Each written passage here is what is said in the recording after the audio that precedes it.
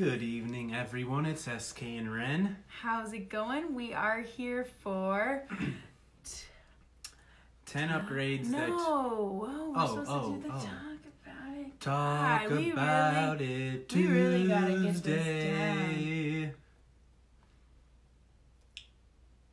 Yeah, so we're here for Talk About It Tuesday. Today we are talking 10 upgrades that you will um, not see. Um, a return. Okay. Hey, Caitlin.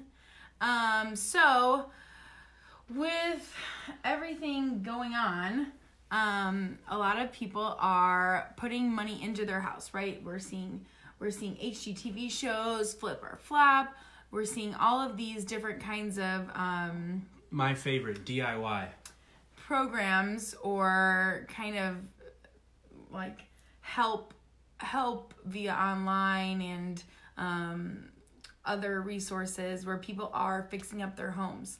Yeah, in addition to that, the market is pretty good, so people probably think they can get, you know, top dollar for their, you know, fix or flip or whatever they're doing. So, why we wanted to talk about this today is because improving too much is actually such a thing. So, the very first thing to do when you are looking at a house and thinking that you want to put some upgrades in is to reach out to Sean or I and make sure that the numbers that you want to put into this property support the numbers that you will get out of this property. So, without further ado, we got 10 it. upgrades that you will not get your money back at resale, and you're going to want to avoid all 10 of these things like the plague. And some of these things, I mean, granted, with that being said, some of these things, it's personal opinion, right? So, Yeah, so these are all, you know, if you're going to stay in the house for a while and you're going to receive pleasure from these things, uh, then Go go, for ahead. it. Go, go ahead. for it, honey. But if you are doing it as an investment purpose, probably not. So, okay, number one, and this is my favorite thing, and this is why I made. So Sean made his list of five, and I made my list of five. Um, number one is light fixtures. Love putting in cool light fixtures, um, but there should be a limit as to what that number is. Um, you know, you can see thousand dollar light fixtures at Menards. Probably go for the less expensive ones than that. What do you think an average buyer would pay for any given price fixture in a home? Yeah, like if Say- if you were to put like a two thousand dollar light fixture in, do you really think that someone's gonna pay two thousand dollars more for your house because of that light fixture? The answer is no. Probably not. No. But the good thing is you could take the light fixture with you if you want. That's true. Make sure you disclose it though. All right, light fixtures. Now, my number one was DIY project fails. So, it's important to, if you're to do a project at home, it's important that you at least know how to do it or do some research on it. Maybe watch a YouTube video because buyers really scrutinize every little thing in a house. Take, for example, a piece of trim on the floor. Even if it's missing that little circular quarter round, I mean, buyers are going to notice that. So, and it just kind of like shows like how the whole qual like how potentially how the whole quality of the house could be. You know, if you cut on that corner, how many other corners did you cut? buyers value craftsmanship. So, just remember the few bucks you saved on your DIY could cost you thousands in And- resale. We know that firsthand, right? Um, okay, number two, putting on a bigger deck. Um, or sorry, this is number three. Putting on a bigger deck, definitely decks are awesome, but in the eyes of a buyer, decks are also a very a big liability, right? You're gonna have to replace that deck if it's not made out of a composite wood. Um, just know that decks, although they can be great, they can also cost a lot of money to replace, to fix, to upkeep. So, adding a deck, hi Mike, good question. Um, I have gotten this question from from past sa- uh, past sale. I'm thinking about Beckman's Mm-hmm. um, in the past, and um, I guess I guess replacing a deck and adding a deck, I don't think is necessary. I think it's nice. I do think that you can sell your house for the amount of money that you put into building the deck. I do believe that. Um, but um, so yeah, I guess I guess that can kind of go either way. But I think putting on like a bigger deck, like if you spent twelve grand on a deck, I don't think that's necessary. If you put on a new four four to five thousand dollar deck, are you gonna get your money out of it? I'd probably say probably so. But uh, Um, but we're talking totally mostly about like extensive decks, big decks, Like- extra large decks. like putting on it putting in a deck with like a built-in hot tub like people are not going to pay more money for that if you're going to redo your deck people will probably pay pay what you paid for number four Aunt, Auntie Ann, we definitely have some good contractors. We'd love to shoot you their phone numbers. Uh, but my next uh, item I was going to talk about is extensive landscaping. So it's very expensive to put in. Um, you may enjoy it uh, while you live there, but potential buyers may see it more as uh, more weeding, more maintaining, more watering, um, and stuff like that. So they don't, they probably don't value it as much as maybe you do. and let's just be clear here landscaping is great if you can improve the way the outside of the house looks so a buyer's first impression is oh my gosh this house is beautiful beautiful. It's been well maintained. That's great. That's not what we're talking about. We're talking about installing waterfalls and ponds because let's be honest ain't nobody want to take care of some stupid koi fish. I'm sorry but it's just truth. It's truth. That's true. So, so, um, you talk about major waterfalls, rocks, all of that like kind of stuff. Again, if you're doing it for personal pleasure, have fun. But we're not seeing it as something that people are getting thousands, tens of thousand dollars out of their house. Um, the next one, this is kind of a sad one for me because What did we just do? because we just I just made you buy a house with one of these and but but here's the thing. All right, I'm just going to get into it. Swimming pools. Swimming pools are probably the worst thing that you could put into a house um, and expect to get your money out of. Swimming pools. And Sean said that because recently we have just purchased a house with a swimming pool. But now, with that being said, if you are wanting to, per- if you are wanting a pool in your backyard, my um, Suggestion. suggestion, thank you, would be to go out and buy a house with a swimming pool. Do not build a swimming pool in your backyard. New swimming pool pools can cost anywhere from sixty to two hundred thousand dollars, um, and upward and onward um, with that number. So um, when you go to sell that house, there's no way that someone's gonna pay fifty thousand dollars more for the house um, just because you put in that swimming pool. And honestly, a lot of the times people will actually Pay less. pay less, or or even worse, heartbreaking, They'll fill it with concrete. horrible. I mean, just horrible. It's horrible. And like I have known people to purchase houses and fill them with concrete. So, um, swimming pools. So yeah, Don't put in a swimming pool. Buy a house with a swimming pool. expensive and they take a lot of time and money to maintain, which is why they are not as valuable to buyers. So my next item is specialty built-ins and custom renovations, such as a hot tub or a fish tank or a wine cellar.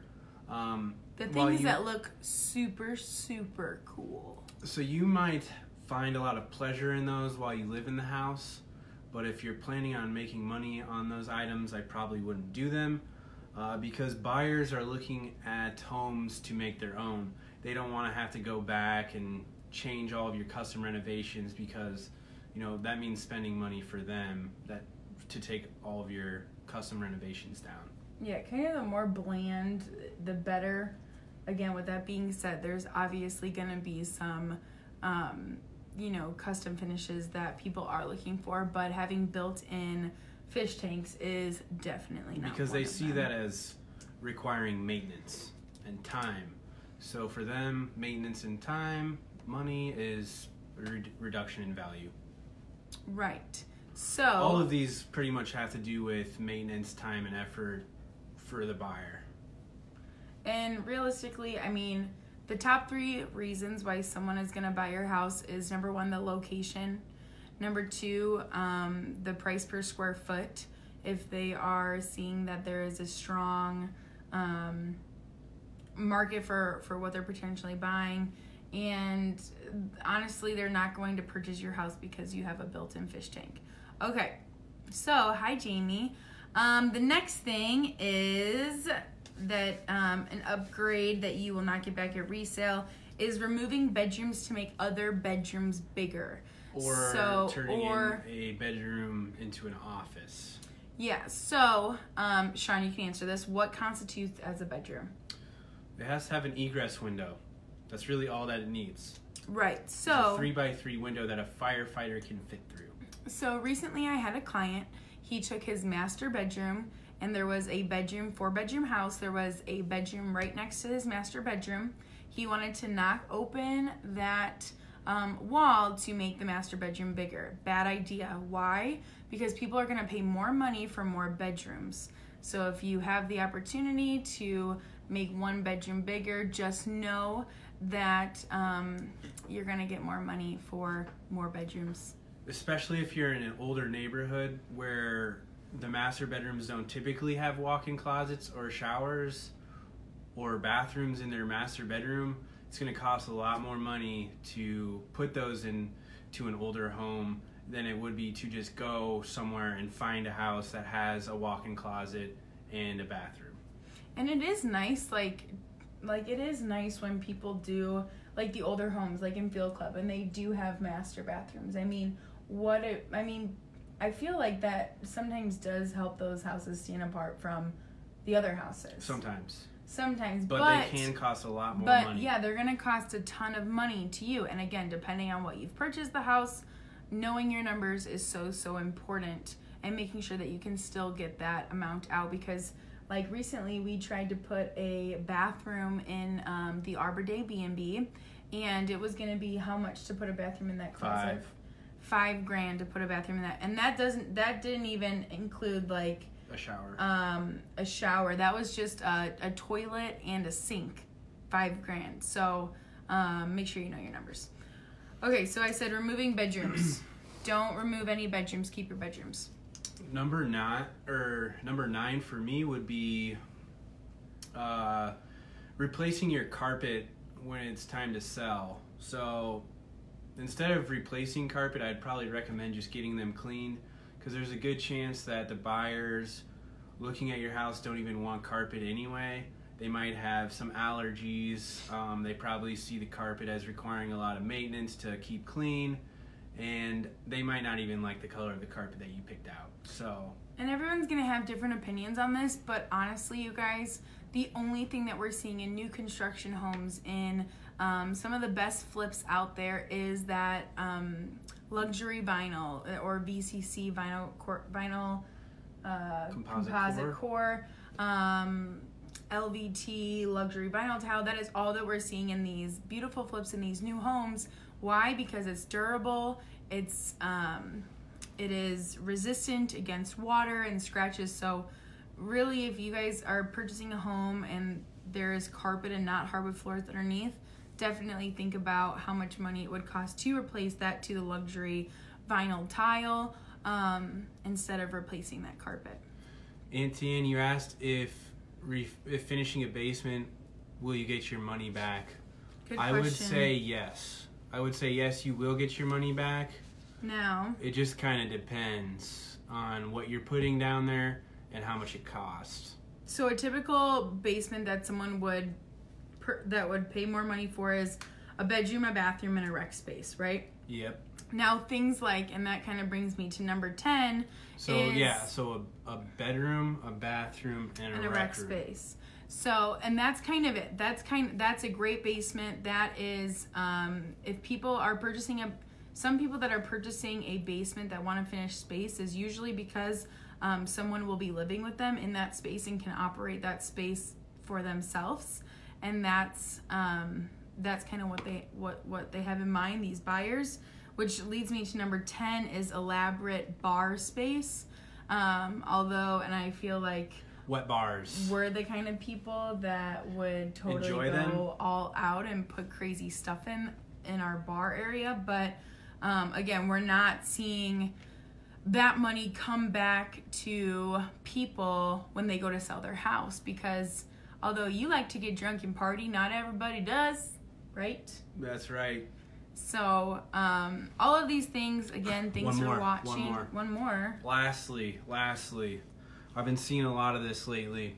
what People turning their their garages into gym space. you don't like that I don't recommend that as a good idea, especially if you're planning on putting down new flooring, if you're planning on putting electrical in there, or maybe HVAC like a heater or air conditioner in your garage. Um, that's probably not a good idea. People really are looking to put their cars in garages and um, not their sweat. but you know, some people do like it. Cool. It's But neat. but when you go to show your house, people that's not going to sell them. Like that is not going to make People them actually like to use their garage for cars. Yes. And I would say about that's 95% of the world, right? Yeah. 95% of the So buyers. If you finish your basement, put down that vinyl core composite flooring instead of carpet, bedroom, a bathroom, bedroom, and a bathroom with a rec room. and do you suggest doing a bathroom with a shower? Yes. Because yes. A so- three quarter bath. So powder baths, which is just a can you stop doing that? a, Which is just a toilet and a sink, um, versus doing a three quarter bath, which is a toilet, sink, shower. You're actually going to um, get more money out of having the shower. Obviously, you're going to Yep. put more money into it. You're going to get more money out of it. And um, people who are wanting to finish basement, they're looking for that that shower down there for that extra space for guests to stay and kind of have their own space. So I would think that that type of improvement would cost around twenty five to thirty thousand max. Depending on the square footage. Depending on the square footage. So thank you guys for watching. Is there anything else that you wanted to add? Hmm.